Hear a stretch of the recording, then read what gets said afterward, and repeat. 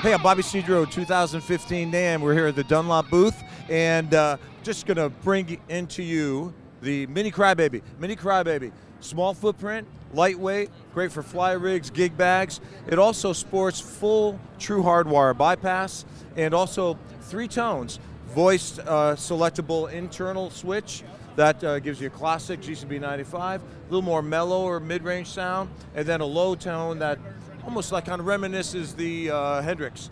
So it's got a lot of functionality, but in a small footprint.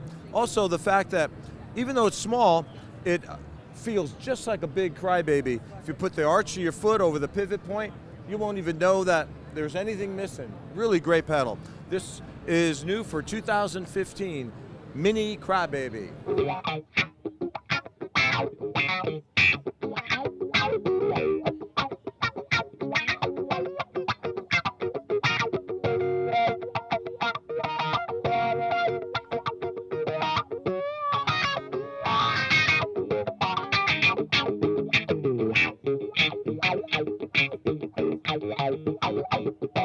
Wow,